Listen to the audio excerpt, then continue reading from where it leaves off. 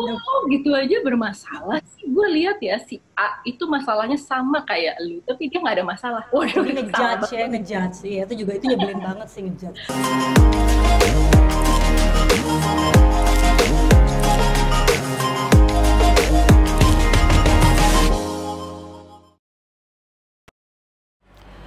Oktober 1992 menjadi pertama kali di dunia merayakan Hari Kesehatan Jiwa atau World Mental Health Day.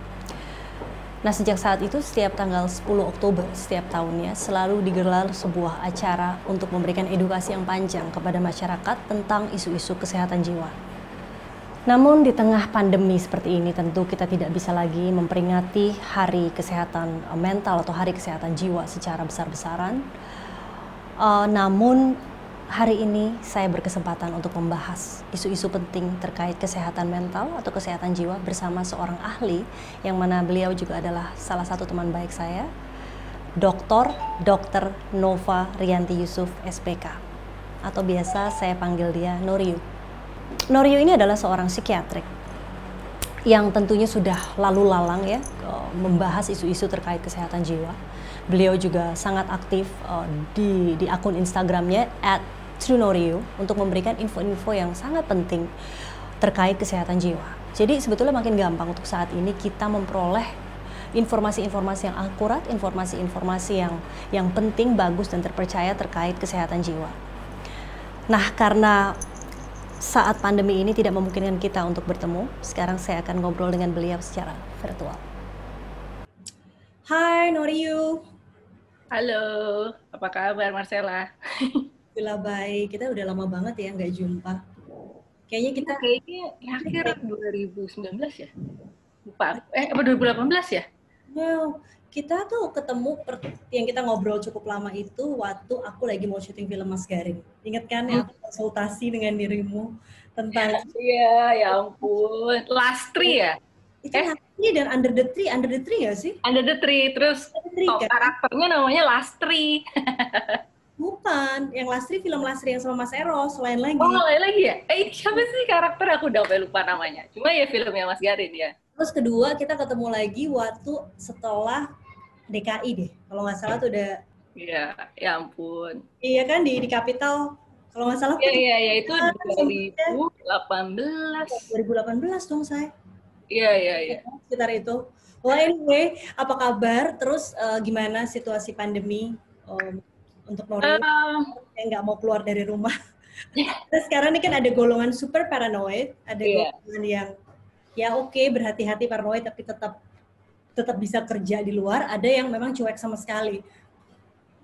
Aku tuh uh, keluar tuh kayak ke tempat yang jauh gitu, kayak ke Curug, terus yang nggak ada manusia di sana kayak di Bogor. Aduh jauh banget sih ya ya ampun. Pulangnya aja juga deg-degan gitu karena sepi banget gitu kan.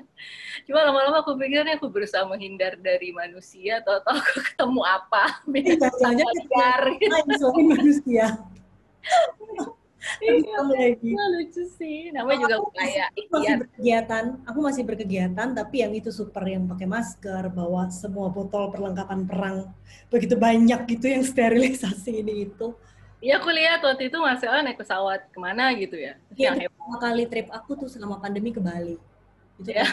Iya, itu, itu itu aku parno banget semua aku semprot-semprotin tapi tapi ya, semua orang jadi sadar kesehatan jiwa gitu. Jadi bener-bener aku tuh banyak banget Marcella diundang ngomong tentang kesehatan jiwa.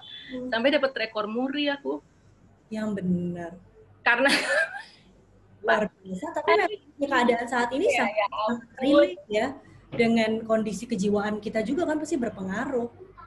Iya yeah, I believe that. Nah aku tuh ada sebentar ya ini anakku suka interupsi. Apa sayang? Udah ah. aja ke bawah sebentar ya Oh, di sini. Kamu bawa ke bawah, oke? Okay? Kasih mas kanan. Udah sayang.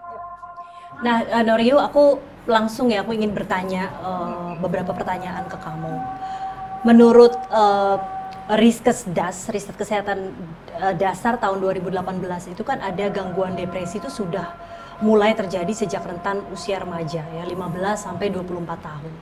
Nah, gimana sih caranya yang efektif untuk meminimalisir uh, depresi khususnya pada kalangan remaja?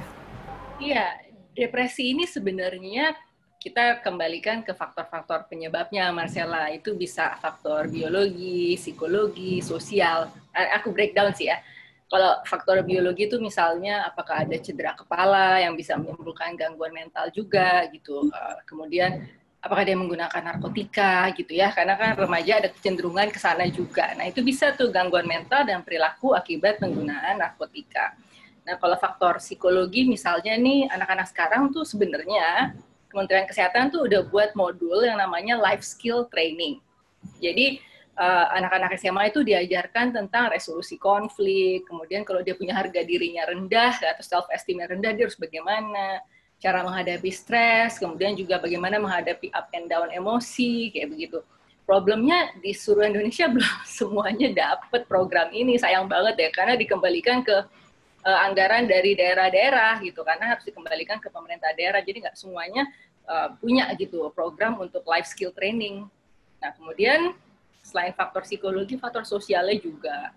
Nah ini waktu itu penelitian disertasiku untuk beberapa stresor psikososial uh, remaja itu kalau ada idola yang bunuh diri aja itu berpengaruh loh ya.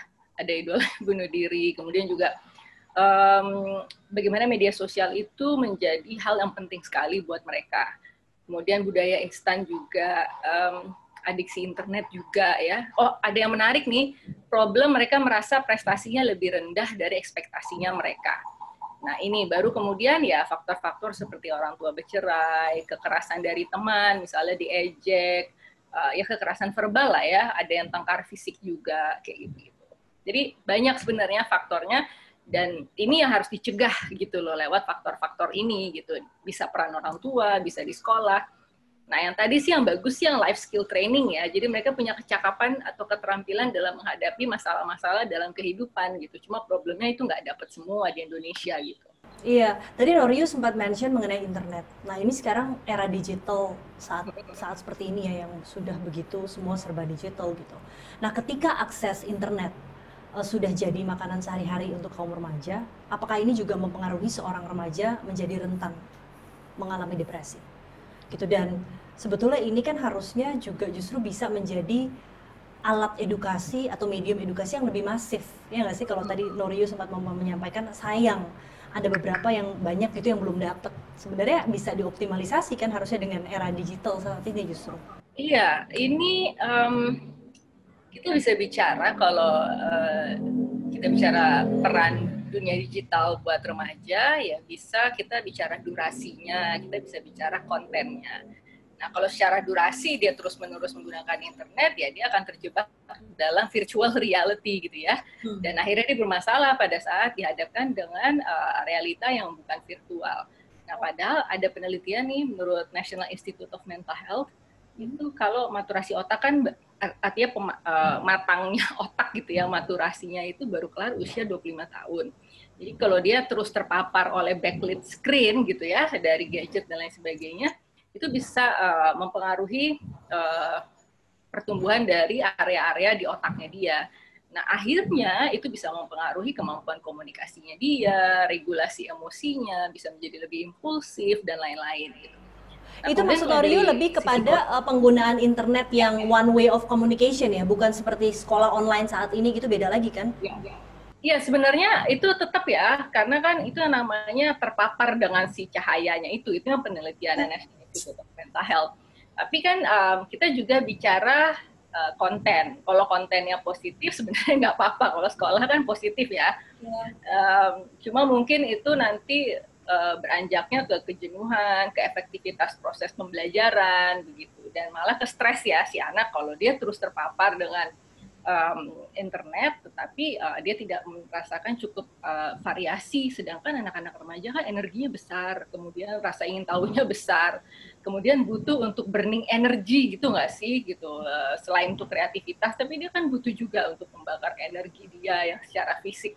Nah ini yang bisa membuat dia frustrated ya kalau terus-terusan menghadapi layar begitu. Pada akhirnya dia menyadari kayaknya gue butuh deh ini untuk keluar. Kalau dulu kan kayaknya senangnya pakai uh, gadget terpaku pada internet, tapi pada saat dia dihadapkan itu uh, sesuatu yang serius belajar itu lama-lama dijenuh juga. Jenuh kan? juga sama gadget ya.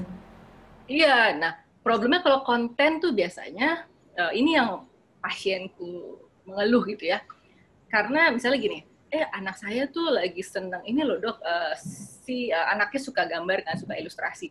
Terus uh, tapi dia memfollow si uh, kreator namanya ini gitu. Yang saya nggak suka adalah prestasinya bagus, karyanya bagus dok, tapi aku nggak suka secara uh, personality-nya, nggak suka sepak terjangnya dia gitu. Jadi dia khawatir karena sosok yang dikagumi sama anak ini nggak sesuai dengan value orang tuanya gitu loh nilai-nilainya beda gitulah. Uh, nah ini uh, akhirnya bisa menjadi problem juga karena agak susah ya. Sekarang kalau anak itu memfollow seseorang di Instagram berarti jarang sih yang benar-benar cuma karyanya aja tapi kan kehidupannya personalitinya betul. ikut ke bawah semua oh, kan. iya iya iya. Jadi iya kayak ya kayak melihat sosok kayak idola ya. Artinya kadang iya. bukan hanya prestasinya bagaimana kehidupan pribadinya dan lain sebagainya gitu kan pasti mereka juga juga ikuti. Nah tadi terkait dengan peran orang tua ya gimana sih sebaiknya peran orang tua uh, memonitor kesehatan mental anak? Ya sebenarnya um, aduh emang peran orang tua agak uh, berat ya kalau misalnya tadi dalam sisi konten aja misalnya orang tua harus mensupervisi gitu. Uh, ada sih ada yang ekstrim-ekstrim kayak misalnya yaudah ya di kamar nggak boleh ada wifi. Jadi kalau pakai wifi eh, pakai uh, pakai jaringan internet itu semua di luar di luar kamar gitu jadi tersupervisi. Tapi itu kan nggak gampang ya negosiasi sama anak juga terus uh, ya orang tua boleh sih agak kepo sedikit agak pengen tahu yang di follow siapa sih ya kayak orang tua pasienku. Akhirnya dia tahu kan oh yang di follow ternyata itu ya. Jadi orang tua minimal bisa um, sedikit memagari, mungkin bisa ngomong-ngomong sesuatu yang agak menyerempet ke sana tanpa directly menyebut, eh idola kamu ternyata gini-gini gitu.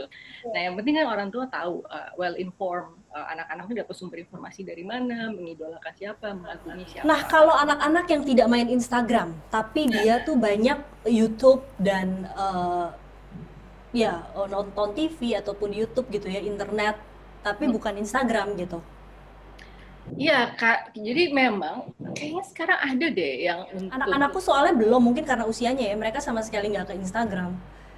Uh, ada tapi kayaknya ada cara untuk memblokir apa tontonan apa kayaknya sekarang ada deh. Aku nggak tahu sih. Aku aku sendiri belum pernah menggunakan. Nah jadi um, yang aku lihat dari pasienku tuh sekarang mereka itu lagi masa pandemi ini ke YouTube itu malah justru untuk uh, mencari yang namanya ASMR. Itu ternyata semacam bukan white noise sih, itu suatu cara untuk dia bisa relax, dia bisa uh, tidur, dia bisa menurunkan kecemasan gitu. Hmm. Nah sekarang uh, anak-anak ini ke YouTube mencari ASMR, singkatan aja aku sampai lupa apaan tuh. Cuma pokoknya itu bagus banget. Uh, di mana anak-anak ini pada saat menonton itu, nah dia mendapatkan um, noises sih sebenarnya noises suara bunyi yang menimbulkan ketenangan, memberikan efek relaksasi, malah ngebantu tidur. Jadi generasi Z itu sekarang malah lebih apa ya? Memang dia lebih rentan ke masalah kejiwaan, tapi juga sangat-sangat aktif mencari cara untuk menghadapi kecemasan atau masalah kejiwaan yang mereka alami gitu. Nah, jadi kadang-kadang aku pikir oh sekarang kok ternyata bisa aku penasaran tanya sama pasien gitu kamu apa yang kamu lihat di YouTube? Ternyata sekarang mereka cari cara-cara untuk overcoming uh, kecemasan dan lain-lain sebagainya. Itu menarik sih gitu. Jadi uh, mungkin bisa ditanya sih sebenarnya ke anak-anaknya eh kamu nonton apa? Gitu. Dan kalau memang ada sesuatu yang menarik dan benar-benar mengeducate yang baru itu kita show interest mereka seneng banget loh dan langsung share kalau aku anak-anakku kan laki ya. Semua tuh rata-rata tontonan tuh ya superhero. Superhero. ya, ngobrol aja kan. Iya kayak, superhero. kayak itu kan. Iya yang yang powerful gitu kan yang tiba-tiba punya ya, keahlian apa gitu yang kayaknya manusia tidak mungkin lakukan ya hal-hal gitu yang mereka seneng atau yang ya seperti Papa Troll apa gitu-gitu ya untuk yang kecil masih dan mereka pasti senang banget tuh kalau kita tuh kayak ih gila uh, kayak menunjukkan interest ke minatnya dia tuh pasti happy banget sih happy banget anak -anak iya. problemnya adalah kalau orang tua sama sekali nggak mau tahu. Kamu mau lihat apa kek mau apa kek terserah aja gitu kayak seolah-olah anak orang tuanya terlalu sibuk ya. Iya padahal gitu. Nah tapi memang kayaknya sih kalau orang tua tuh nggak hanya um, di di situ aja ya jadi benar-benar tuh dari awal sekarang tuh bahkan di pendidikan anak usia dini ya di PAUD gitu ada program PAUD itu itu tuh sebenarnya ibu-ibunya tuh udah dilatih juga Marcella. Jadi hmm. untuk mengajari ibu tentang bagaimana sih tumbuh kembang anak, bagaimana sih melihat perkembangan sensori motornya si anak gitu loh. Jadi um, orang tua itu eh, sebelum anak-anak make ke gadget pun dia harusnya udah uh, ke tahapan-tahapan itu dulu gitu, mempelajari, mem mem memahami perkembang tumbuh kembangan si anak. Terus ngikutin perkembangan zaman, ya kan? materi-materi mental health sekarang secara virtual banyak banget nih kayak sekarang aja kita kan diskusi kayak gini ya. Tapi hati-hati kemarin ada psikiater gadungan loh Marcella. Ya, sekarang psikiater gadungan. Eh, jadi aku kaget kan ngelihat e-flyer gitu. Ada psikiater namanya apa gitu ya kayak namanya kayak tapi kan harusnya bisa dicek dong bisa dicek dong. Sekarang kan udah zaman ya, uh, sosial media artinya status mereka bagaimana di Facebook di Instagram bisa juga mereka bikin fake ya. Iya memberikan fake iya ya fake profile. Oh my god scary itu iya, nah ini iya, kita iya. ngobrolin tadi tentang anak dan laki-laki untuk anak laki-laki khususnya itu kan sering sekali ada stigma harus kuat ya anak laki-laki harus kuat dan nggak boleh cengeng um, ternyata itu berdampak pada uh, kesehatan mentalnya. Kebanyakan mereka merasa tertekan, terus juga sampai ada juga yang depresi, bahkan yang terparah ialah mereka mencoba membunuh diri.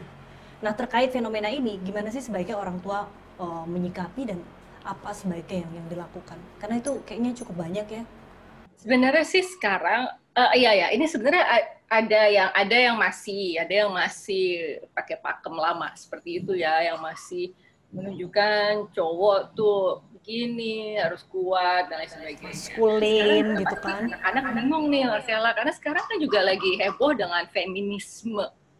Iya. Ya kan yang yang he for she kemudian apalagi tuh banyak banget kan uh, yang antaranya aktivis itu Natalie Portman terus siapa lagi tuh banyak banget kan yang ikut aktif. Nah kayaknya sih hal-hal semacam ini memang um, harus didiskusikan dan orang tua itu harus memahami, harus loh, harus memahami bahwa nilai-nilai um, yang mereka tanamkan ke si anak itu uh, adalah nilai-nilai yang akan nantinya menjadi super ego si anak gitu. Jadi kan setiap manusia punya uh, yang namanya it, ego, super ego. Nah, apa yang ditanamkan oleh orang tua, oleh figur parental atau figur uh, otoritatif gitu. Nah, nilai-nilai ini akan mempengaruhi perkembangan psikologi si anak. Jadi kalau misalnya orang tua uh, pada pada saat anaknya lagi pertumbuh kembangan uh, apa menuju ciri kepribadian. Ciri kepribadian kan umur 18 tahun terbentuknya. Nah, misalnya dalam fase-fase dia menuju ke sana, orang tua yang terus aja kayak kamu harus seperti ini, kamu harus kayak gini. Itu ada tuh teorinya namanya tyranny of the should. Jadi should harus harus harus. Nah, akhirnya si anak Aku agak begitu tuh harus harus dan harus. ke anak terus harus begini harus begitu ya kan nanti ujungnya si anak malah um, dia nggak bisa menjauhi lagi yang dia justru ya. diharuskan iya dia jadi nggak bisa tak punya jati dirinya sesungguhnya gitu jadi uh, dia nggak bisa menemukan real selfnya dia gitu jadi dia malah terjebak di idealized self jadi self yang diideal uh, yang diidealkan berdasarkan harus harus harus dari orang tuanya. Nah itu bisa bermasalah kejiwaan nanti si anaknya. Iya. Jadi dia nggak berkembang sesuai dengan curiosity-nya dia secara natural gitu. Tapi benar-benar begini begini begini gitu. Ya, itu itu masukan yang itu hal kecil ya, tapi menurutku penting banget sih. Kadang-kadang kita orang tua tuh nggak realize karena kita sayang banget sama anak kita, kita pingin yeah. yang baik gitu kan, sehingga kita punya pandangan seperti itu yang baik sehingga kita tuh kayak kamu harus begini, kamu harus begini. Jadi sering kayak gitu. Nah, ngomongnya harus ya, pasti nggak iya. sadar ya ngomongnya kamu harus begini, kamu harus begitu. Nanti kamu kalau nggak begini, kamu akan begitu. iya. nah terus um, ini ya uh, Norio kalau melihat ya bahwa depresi yang berujung pada percobaan bunuh diri ini kian tinggi di Indonesia. Nah gejala sebetulnya uh, perilaku ini apakah sudah bisa dilihat sebelumnya nggak sih dan tanda-tandanya itu seperti apa sih seorang mengalami depresi dan sampai kita kita bisa notice gitu dia sampai ada niat untuk bunuh diri? Sebenarnya tuh perubahan pada seseorang tuh bisa kita lihat. Problemnya adalah kita gini aja deh kalau kita sehari-hari aja ya ngobrol sama orang gitu. Pasti orang ditanya how are you? gitu. Ya. lo apa kabar? Baik. Padahal tuh di belakang baiknya tapi tapinya banyak banget sebenarnya. Cuma kayak gue gak yakin deh mau cerita sama dia dia bener-bener berempati tuh kepo doang. Lebih banyak kepo saat-saat ini mungkin ya tapi problemnya um, untuk kita menunjukkan kita benar-benar berempati ke orang juga nggak gampang ya gitu. Hmm. Emang empati itu harus diasah dan kayaknya dalam kurikulum anak-anak sekolah kita nggak ada tuh yang namanya empati uh, diajarin. Empati kan berarti bisa um, put uh, oneself on someone else's shoes ya. Jadi bisa merasakan, meraba-rasakan apa yang dialami oleh orang lain, yang diderita oleh orang lain gitu. Nah akhirnya kalau kita biasa untuk uh, melatih empati kita dan kita pada saat uh, berbicara dengan orang kita bisa tahu nih sebenarnya kayaknya nih orang nih antara salah satu dari tiga P-nya terganggu. Tiga P itu maksudnya pikiran, perasaan, perilaku. Jadi kalau orang uh, gangguan jiwa nih itu pasti yang manifestasi klinisnya tuh di tiga itu Marcella. Pikiran perasaan perilakunya. Tiga P ya pikiran perasaan perilaku. Perilaku uh, nanti ada manifestasi klinisnya muncullah di sekitar sekitar itu gitu. Iya. tapi nah, kalau perasaan kan kita nggak tahu dong. Kita nggak bisa lihat kalau perasaan. Bisa makanya kalau kita udah biasa sih sama, orang itu nah, pasti kita bisa tahu ya. Kayak ya. oh kayaknya dia uh, biasanya kalau gue cerita itu dia ketawa deh udah kalau gue ceritain ini jadi ini ya gitu loh kalau kita sama ini berempati sama orang pasti kita bisa tahu iya ya kan Iya. Uh, nah tapi gini juga Norio kan nggak setiap uh, tidak sedikit ya orang yang malu untuk uh, uh, apa ya mengatakan bahwa dirinya tuh cemas gitu ya akan sesuatu ya, ya. atau bukan mereka tuh tertekan atau ada hal yang membuat mereka depresi. Nah bagaimana cara mengenal gejala ini jika orang tersebut tuh tidak mau terbuka? Dengan apa yang dia alami dan cenderungnya juga banyak orang yang pandai gitu menutupi. Iya, pada ujungnya itu adalah um, kita tuh harus active listening. Ya itu tadi sih kalau dengan active listening kita juga jadi bisa uh, melihat orang itu uh, dengan pikiran perasaan perilakunya dia dengan kita memperhatikan memperhatikan tanpa berkesan want to know itu tadi. No. Hmm. Ya nanti kita bisa lihat sendiri, eh kok dia hari ini biasanya hmm. kalau acara ini dia tampilannya yang gimana gitu ya, kok kali ini dia enggak ya gitu. Kok biasanya dia kalau lagi ngobrolnya excited ya kok enggak ya gitu. Atau biasanya dia, kita sebenarnya bisa sih seputar 3P itu aja pikirannya dia. Biasanya dia optimis, terus sekarang dia kayak pesimis banget sih gitu kan terus uh, ya mungkin jadi lebih sensitif, lebih mudah marah gitu. Biasanya diajakin bercanda yeah. itu nggak masalah. Ini kok jadi ini marah banget sih dia pada saat bahas ini, padahal dia biasanya nggak apa-apa. Itu kan udah perubahan-perubahan. Tapi hanya orang tertentu ya bisa melihat itu, khususnya mungkin para psikiater gitu, seperti Nuri. Uh, ya sebenarnya kalau teman-teman, uh, sebenarnya kita kan sebelum ke psikiater pasti kan ke teman dulu ya, teman, saudara gitu. Bisa sih kelihatan, bisa kalau lagi di meja makan kita pasti ngumpul kan kita uh, sama keluarga lihat oh dia kok kayaknya lagi ini sih kok uh, biasanya dia nggak eh, gitu loh. Tapi apa yang dilihat? Ya itu tadi antara pikiran perasaan perilakunya dia. Mungkin yang kelihatan perilaku dulu kali ya. Misalnya dengan gaya makannya gaya duduknya gitu. Biasanya dia gini kok kayaknya begini atau gimana? Gitu kan.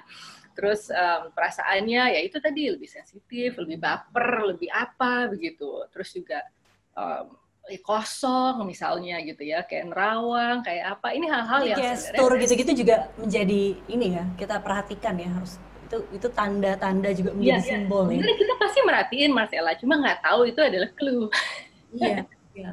Iya, makanya aku bilangin itu gampang aja, lihat 3P aja, pikiran, perasaan, perilaku itu aja uh, berpatokan ke itu aja. Jadi uh, tiga hal itu aja, itu juga banyak banget sih clue-nya yang bisa kelihatan dari situ gitu nanti baru kita active listening aja. Jadi lebih mendengarkan dia gitu. Karena kadang-kadang kita maksain curhat juga nggak mau lagi orang. Jadi benar-benar dia ngerasa yakin gitu dengan kita biasanya dia baru mau. Akan keluar dengan sendirinya ya? Ini aku kasih contoh ya. Ini ada pasienku anak remaja. Dia tuh sensitif banget uh, dia akan melakukan bunuh diri udah berapa kali self harm terus. Umur? Tapi kalau lagi di uh, kalau dia lagi di media sosial tuh lagi di aku nggak punya nggak ngerti tuh. Ada namanya WhatsApp yang untuk uh, chatting gitu ada chat room yang di mana dia bisa konsult uh, ngobrol sama anak-anak di seluruh dunia gitu ya.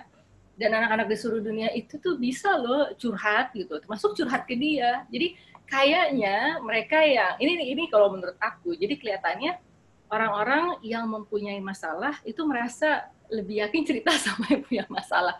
Dianggapnya dia pasti lebih paham iya, gue. karena mereka melamar mengalaminya langsung, hmm, ya kan? Karena jadi, pengalaman biar bagaimanapun kan kayak guru yang terbaik gitu kan. Jadi iya iya jadi kayak ya ada daya tariknya sendiri. Nah Betul. kalau kita nggak mungkin nggak mengalami hal seperti yang orang lain alami, minimal itu tadi kalau kita menunjukkan empati, apa bahwa kita bisa merasakan yang dia rasakan walaupun kita nggak pernah alami. Nah harapannya itu bisa uh, memberikan sebuah keyakinan media ya untuk bercerita atau ya kita active listening aja gitu. Jadi active listening itu artinya mendengarkan tapi interest gitu. Iya iya iya. Ya, nggak sekedar interest. mendengarkan jadi ya. Iya. Iya nggak sekedar jadi pendengar yang baik aja gitu kan. Artinya listen with interest itu kan berarti kita pasti akan jadi curious juga. Kita mena yeah, langsung yeah, bertanya yeah. terhadap apa pun yang dia ceritakan gitu kan. Ya jangan dia dia cerita kita kayak nerawang atau apalagi oh, ngejudge. Iya, iya. Okay. Aduh, oh, dia iya, ngejudge iya, iya, gitu kan. jadi kayak oh gitu aja bermasalah sih. Gue lihat ya si A itu masalahnya sama kayak lu tapi dia nggak ada masalah. Waduh, ngejudge ya, ngejudge. Iya, itu juga itu nyebelin banget sih ngejudge. Tadi aku ada satu hal ya yang yang jadi pengetahuan buat aku tuh Norio ketika Norio bilang bahwa benturan di kepala atau ada cedera gitu ya di otak apa segala macam tuh ternyata mempengaruhi ya pertumbuhan. Karena aku kan my my boy, my second one, anakku yang yeah, kedua yeah. tuh kan brain tumor kan dan dia sempat di ya. dioperasi. Yeah. Jadi memang sih kadang-kadang tuh yang kayak emosian, maksudnya kayak somehow ada hal-hal kayak im, im, impulsif ya impulsif yang kayak ya ya ya ya itu itu itu pengaruh gak sih memang memang ya, pengaruh banget Marcella karena um, biasanya tuh itu kan artinya uh, Marcella ke dokter saraf ya iya uh, Profesor Eka dokter saraf oh oke okay. iya iya iya memang dulu tuh sejak zaman dulunya sebenarnya neuropsikiatri itu tidak dipisah jadi hmm. artinya uh, dokter saraf dan dokter jiwa itu jadi satu gitu loh. Kalau sekarang kan dipisah ya, aku dokter jiwa, terus yang Profesor Eka itu berarti dia dokter saraf. Uh, karena apa? Karena keluhannya sebenarnya berhubungan ya klinis klinis kesyarafan itu berhubungan dengan impact psikologis. Ya, iya ternyata iya bener tuh harusnya digabung atau enggak memang ada dua dokter ketika ngobrol psikiater dan si syaraf kalau memang ternyata dokter syarafnya tidak terlalu menguasai bener yeah. juga tuh Perlu. Tapi memang uh, itu sih, makanya aku tadi jelasin di awal kan bahwa um, penyebabnya itu adalah biologi, psikologi, sosial. Biologinya ya itu tadi bisa kelainan di otak atau ada cedera, ada trauma, uh, terus ya itu tadi bisa tumor gitu ya. Terus um, ya itu tadi. Uh, tapi kalau terkait dengan klinis itu gimana dong kita? Berarti memang harus artinya kesembuhan klinisnya itu mempengaruhi berarti kan kita apakah kita bisa merubah itu kalau klinisnya masih sama tapi bisa nggak kita latih atau kita pengen rubah dari pendekatan psikologi gitu Iya bisa kok uh, biasanya sih kadang-kadang uh, dokter uh, sarafnya itu pasti ngasih obatnya ada kok ada obat yang psikiatrinya pasti ada. Aku nggak ada sama sekali sih. Nggak ada anakku. Apa karena dia terlalu kecil aku nggak tahu because ketika kejadian kan anakku tuh masih setahun kurang sebulan ya sampai dengan uh, setahun setengah gitu sampai sekarang. Kalau dia ya, biasanya kan dokter sarafnya kan juga akan assess. Kalau menurut assessment dia perlu ke psikiater anak, kan karena usianya masih anak kan, ke psikiater anak dan remaja pasti dia akan suruh kok. Kalau hmm. memang dia ngerasa itu perlu banget gitu. Jadi akhirnya jadi uh, dirawat bareng artinya rawat jalan tapi bareng gitu. Mungkin ada sesi sendiri ke uh, psikiater supaya anaknya lebih nyaman ya gitu pas nggak ada si dokter itu. Okay. Jadi kayak gitu memang erat banget kok uh, kaitannya gitu antara otak dengan kondisi mental dan perilaku orang. Oke. Okay. Nah terakhir nih Norio, uh, sudah lebih kan dari enam bulan Indonesia ini mengalami masa pandemik dan tak hanya soal kesehatan tentunya tapi secara ekonomi kita juga sangat terguncang ya dan hal ini pun akhirnya berdampak pada kesehatan mental khususnya kalau aku melihat tidak hanya masyarakat menengah ke bawah loh masyarakat menengah ke atas pun juga banyak juga yang terkena impact sangat besar gitu nah uh, tidak hanya ya artinya ekonomi ini kan juga karena ber, sangat erat juga kan kaitannya kepada kondisi psikisnya mereka ya gitu stress yeah, level yeah. dan lain sebagainya. Nah apa aja sih yang bisa dilakukan untuk mencegah seseorang mengalami depresi gitu di masa seperti ini? Iya, jadi uh, Mas kan ini nih banyak banget ya yang menanyakan ini, tapi sedikit banyak tuh sebenarnya mereka juga udah menjalankan gitu. Cuma uh, memang ada tahapannya. Jadi uh, intinya adalah saat ini yang penting kemampuan coping. Coping itu artinya menghadapi masalah ini. Hoping? Karena kalau ya coping, coping itu harapan maksudnya kan? Masalah ya. Jadi um, coping yang baik dari individu itu akan mempengaruhi lingkungan sekitar bahkan masyarakat luas gitu. Jadi ini penting banget gitu. Jangan sampai uh, apa dysfunctional gitu menjadi disfungsi gitu ya. Kalau individu-individu semakin banyak yang disfungsi masyarakatnya juga akan makin terlemahkan gitu kan. Nah, apalagi tadi dengan problem ekonomi dan lain sebagainya. Problem ekonomi pasti kita nggak bisa menangani secara langsung. Tapi ada satu hal yang menarik adalah sekarang banyak banget movement atau gerakan-gerakan kesehatan jiwa di masyarakat gitu yang yang ingin membantu masyarakat gitu. Jadi macam-macam ada yang peduli ke lansia, ada yang ke anak, ada remaja, ada yang ke orang tua gitu. Nah ini kan udah uh, sign yang positif ya, tanda yang positif banget dari masyarakat kita. Nah kalau secara individu-individunya, yang penting itu kan dia harus bisa uh, menghadapi masalah dengan baik, beradaptasi gitu ya. Bahkan dia kemarin bisa mengadopsi uh, kebiasaan baru itu kan uh, butuh proses adaptasi. Nah biasanya itu uh, ada yang menarik sih yang bagus itu kan copingnya yang fokus pada problem. Kalau fokus coping ya, coping or hoping sih tadi kamu ngomong coping. Coping, oke. Okay. Co coping. C O C O P O P N G. Eh C O P N G. Ya coping, coping. Hmm, coping ya. Aku tuh kalau ngomong agak aneh ya, gara-gara aku dulu pernah pakai kawat. Setelah pakai kawat, kalau ngomong agak aneh. Sebenarnya tadi hoping, berarti apakah harapan berharap yang baik? Ya, coping.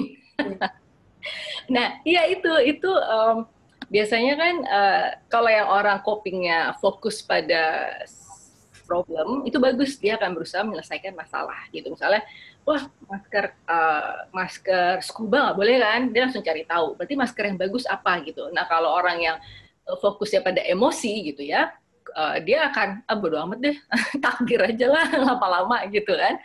Gitu itu takdir deh ketularan atau enggak sekarang yang menarik adalah masyarakat kita setelah udah agak lama nih kayaknya uh, ada jatuh pada dua kondisi nih. Yang satu uh, behavioral disengagement, jadi yang awalnya sudah berupaya, lama-lama mulai nggak berdaya juga nih, capek okay, juga ya. gitu. Putus lama asa ya. Udah deh, capek ah gitu. Ah, banyak kok yang uh, orang merasa lelah dengan semua upaya, bahkan 3M aja udah males. 3M yang pakai masker, cuci tangan, menjaga jarak. Ada yang udah sampai kayak gitu tapi ada juga yang ini uh, mental disengagement. Hmm. Ini yang menarik dan ini banyak yaitu yang melamun, udah menghayal aja nih saya lagi ada di mana gitu kan.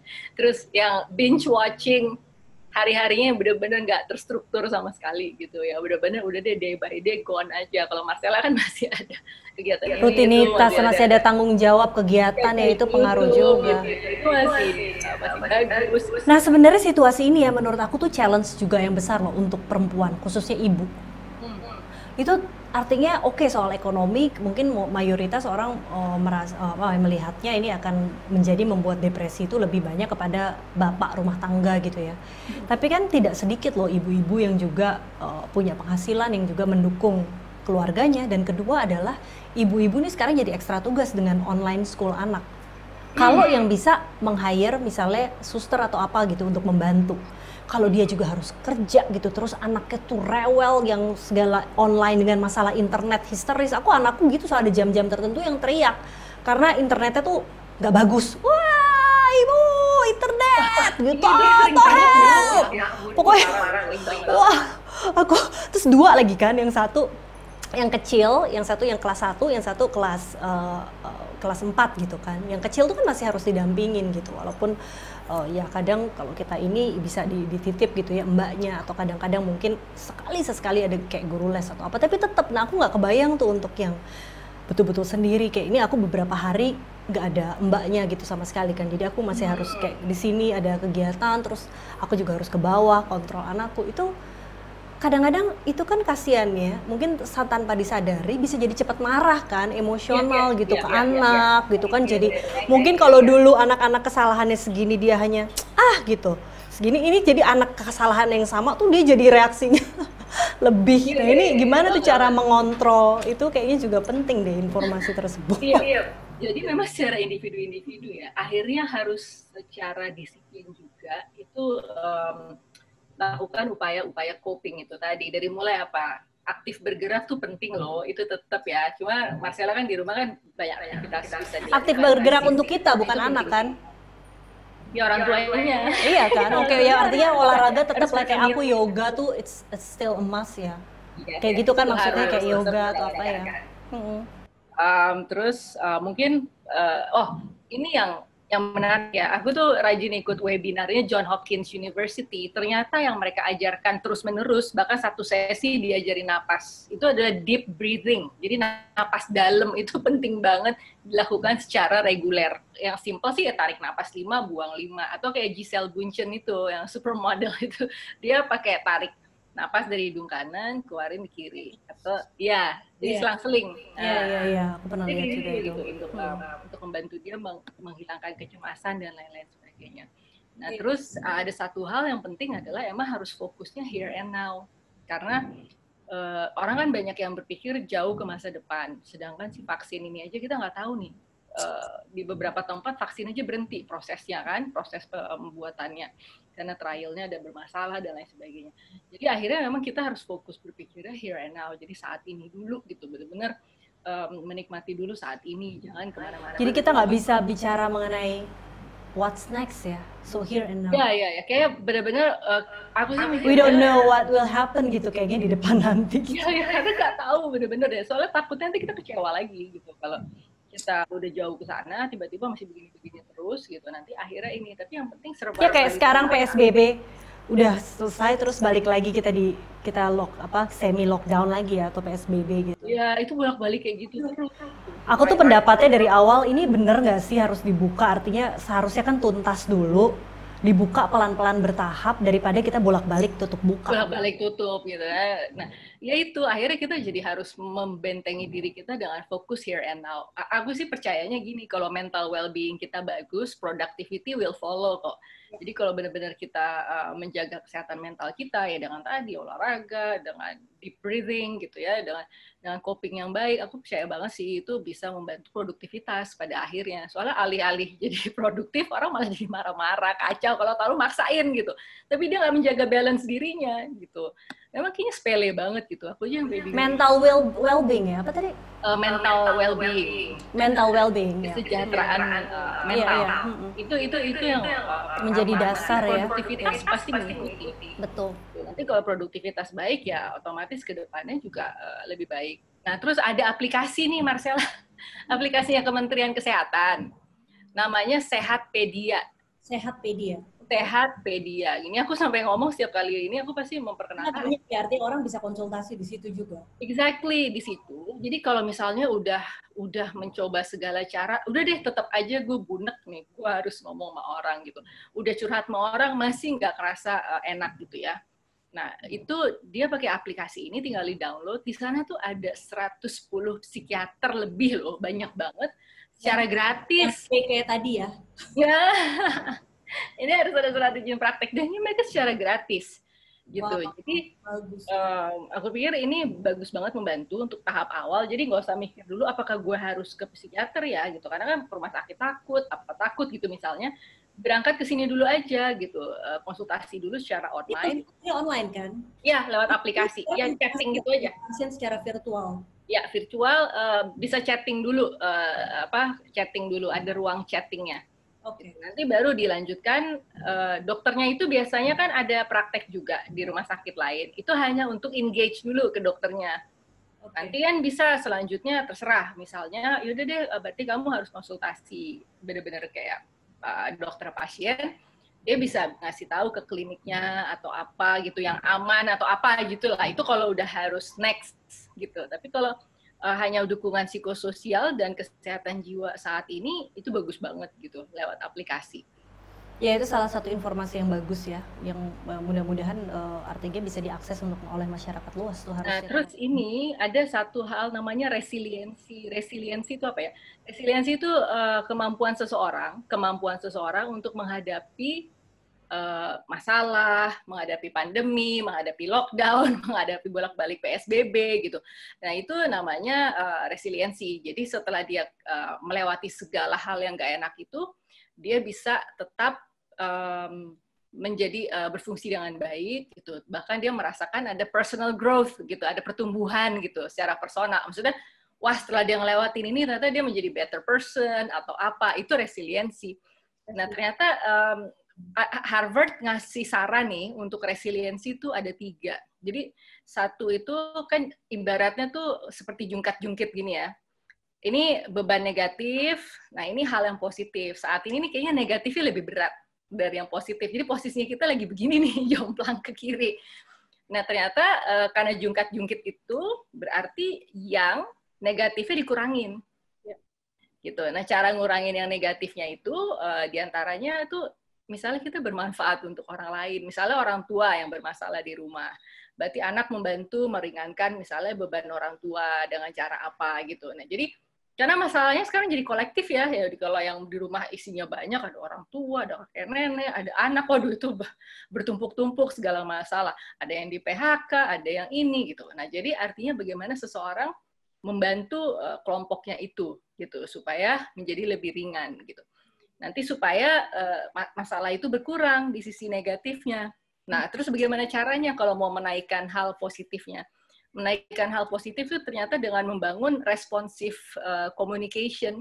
Hmm. Jadi kita benar-benar harus membangun komunikasi yang positif gitu uh, di lingkungan tempat kita berada.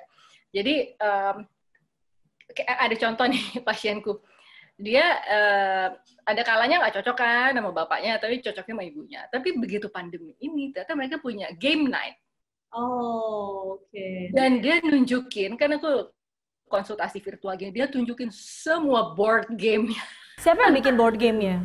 Board game-nya banyak banget. Yang bikin bapaknya? Uh, jadi dia sekeluarga main, akhirnya dengan melalui board game itu, itu um, komunikasinya jadi bagus, jadi ice breaking. Berarti ini bisa jadi salah satu solusi ya, artinya jika ada pertanyaan kayak uh, pada akhirnya ketika seorang sudah merasa cemas ataupun depresi di masa uh, pandemi seperti ini, yang sebaiknya dilakukan apa dan bagaimana sih sejauh apa peran keluarga? Berarti ini sebenarnya ya, salah satu nggak sih? Iya, gitu? ya. sebenarnya hal-hal yang simple gitu kayak misalnya di meja makan lagi ngobrol dan lain sebagainya, kan adanya itu-itu aja ya orangnya jadi kita benar-benar kayak ngomongnya yang enak-enak aja gitu nggak usah ngomong yang wah langsung nyulut api gitu kan di meja makan gitu. Jadi kita benar-benar ngomong yang asik aja ya film kayak eh, kita mau ngapain nih? gitu. Eh kita mau main board game bahas apa? Kayak pokoknya hal-hal yang mungkin nggak penting tapi membuat komunikasi berjalan lancar dan kita dan light gitu ya light fun iya cuma pengen fun aja asik survival bareng yang enak. Nah terus ya itu tadi ternyata aku tanya sama anak itu kamu gimana? Aku sekarang jadi deket sama papa dan I feel I have a stronger bonding with my mom. Dia bilang That's gitu. Oh, itu oh, adalah impact positif gitu. pandemi ya. Dia bilang, iya kita punya game night. Jadi board game-nya banyak banget deh, wah nunjukin segala macam board game. Di situ mereka interaksinya jadi bagus. Nah, jadi itu yang dikatakan uh, positif uh, responsive communication. Jadi membangun hal positif di antaranya yaitu mungkin kalau ada gap dalam komunikasi, dengan cara-cara yang ice breaking kayak gini itu bagus gitu. Dan satu lagi ternyata setiap orang kan butuh tetap berfungsi, tetap uh, bisa uh, melakukan fungsi eksekutifnya lah kesehariannya ngapain. Itu ternyata benar-benar disarankan pakai alat bantu. Yaitu tadi yang aku bilang supaya hari-hari terstruktur ya. Hal simple aja misalnya alarm kayak alarm di telepon atau apa gitu. Pokoknya jangan sampai hari nggak nggak nggak nggak terstruktur. Jadi di situ justru orang akan atau nulis agenda gitu kan. Jadi orang akan merasa wah ternyata hari gue tuh berlalu dengan produktif ya. Atau iya, jadi tetap tetap efektif ya. Jadi ada hal harinya tuh ada efektivitas iya. Dan ada produktivitas gitu. terus juga dibantu dengan ya alarm lah jam segini oh gue harus ini jam segini gue harus ini gitu itu kita bisa menjaga supaya hari-hari jangan membuat kita ya nggak nggak nggak ya. ada peran gitu nanti kita pasti merasa lebih negatif ya kalau kayak gitu pasti akan ngerasa gila satu hari lewat lagi tanpa makna. Jangan sampai biarkan satu hari lewat tanpa makna ya. Jadi dicatat, itu, bisa dibantu ya. gitu supaya harinya terstruktur. Kalau nulis agenda tuh juga bagus. Misalnya malam kita buat checklist kan apa yang udah udah dikerjakan apa yang udah dikerjakan dari yang semalam list kita buat. Terus kita kan checklist. Eh lumayan nih ternyata udah dua yang gue kerjain dari tiga gitu kan itu kelihatan tuh kerasa gitu loh waktu kita ngechecklist tuh kerasa banget gitu pas mau tidur kan kayak ah oke okay, nanti gue besok kerjain yang ini lagi gitu jadi hal-hal semacam ini tapi itu disarankan banget untuk uh, menjadi alat bantu kita gitu untuk kita uh, bisa berfungsi dalam keseharian gitu. I'll do that. Iya iya iya. Aku tuh selama ini kan kita punya agenda agenda kerja kan yang dipegang oleh misalnya kayak kita punya sekretaris juga terus kita juga punya Google Calendar gitu kan. Tapi jarang tuh yang kita catat secara tertulis di checklist deadline deadline atau apa pun yang harus kita lakukan yang tidak hanya kerjaan ya kayak kita ada di rumah atau yang lain hal yang kaitan dengan keluarga yang harus kita beresin iya, appointment yeah, yeah. apa. Kadang-kadang kita semua di kepala loh kita inget kita nggak checklist gitu. Artinya oh iya ya itu belum gitu. Tapi kalau dicatat seperti itu ya benar juga tuh. Jadi kita tahu dari semua deadline kita yang tidak hanya pekerjaan udah berapa banyak nih kita gunakan ya, secara efektif waktu kita kan, yang akhirnya kita udah banget. capai itu ya. untuk menjaga jungkat-jungkit itu supaya balance katanya. Nah terus um, ya misalnya uh udah melakukan dua hal nih berarti gue boleh makan cheesecake. Ngasih reward. Ngasih reward ke diri sendiri itu penting banget. Jadi apa ya? Be compassionate to yeah. yourself. Kita harus compassionate ke diri kita. Jadi kalau kita udah melakukan satu hal, gue dapet ini, oh, gue dua hal berarti cheesecake dan apple crumble. Hal itu tidak hanya kita terapkan kepada anak ya. Yeah, Jadi kayak dia lakukan sesuatu, kita kasih sesuatu gitu, tapi ke kita juga diri kita. Aku tuh kalau makanan masalahnya nggak ada gak ada ininya sih ukurnya. Jadi selalu libur terus jadi kayaknya nggak bisa di nggak bisa direm. Jadi nah makanya berarti makanan sekarang dijadiin reward. Tidak jadi reward terus nih makanan. Ini belum ngapa-ngapain udah reward terus ya reward terus bahaya. apa kayak pandemik ini jadi reward terus loh makanan. Ojol iya. dipanggil. Apalagi lihat di medsos kan di Instagram muncul kan dan kadang-kadang orang juga promosi kan pingin kirim dan kirim dan kirim dan kirim akhirnya kita coba dan enak dan habis gitu itu boleh juga nggak apa-apa beli tetap dibeli tapi makannya nanti lihat dulu hari ini gue udah nyelesain ini ya oke okay. wah itu pasti seru banget kontrol ya intinya and balance yeah, yeah, yeah, yeah. yeah. Well, Noriu, uh, thank you banget uh, waktunya. Yeah, yeah. Aku yakin uh, segala informasi yang tadi Noriu uh, berikan itu insya Allah ada manfaatnya ya, khususnya buat uh, ya para ibu, buat semua orang yang yang ya yang mungkin mengatakan sadar atau tanpa disadari itu mengalami depresi di masa pandemi. Mudah-mudahan sehat selalu dan lekas pandemi ini berakhir sehingga kita bisa ngobrol lagi tatap muka secara langsung karena biar bagaimanapun ngobrol virtual tuh sekarang sudah menjadi kebiasaan, ada efektif, ada efektifnya juga, ada efisiensi juga, tapi ada hal-hal yang tetap kita sedikit kehilangan gitu ya, berbeda rasanya sama ketika kita tuh ngobrol tatap muka langsung. Oh, yang itu enggak tergantikan. Ya, tak tergantikan. Ya. Banget. Makanya sebanyak-banyaknya ini kayak um, itu masih kurang sih rasanya, tapi ya it's better than nothing gitu aja sih. Ya, yeah, at least this is the best thing that we can do right now ya kan gitu. Oke, okay, Noriu, thank you so much. Take care dan keep in touch. Ya, aku informasi terus ya, Marcella. Hmm. Salam buat keluarga. Salam juga buat keluargamu and sukses, all the best, stay healthy. Yes. yes. Wah, ternyata tidak terasa waktu cepat sekali dan kita uh, sudah begitu banyak diskusi yang menurutku tidak hanya uh, fun tapi juga penuh informasi akurat dan bermanfaat yang mudah-mudahan semua sahabat Marcella atau penonton di rumah bisa mendapatkan ilmunya juga mengaplikasikannya dalam kehidupan sehari-hari. Terutama tadi juga bagaimana kita menjaga health well-being kita di saat pandemi itu juga menjadi hal yang sangat penting.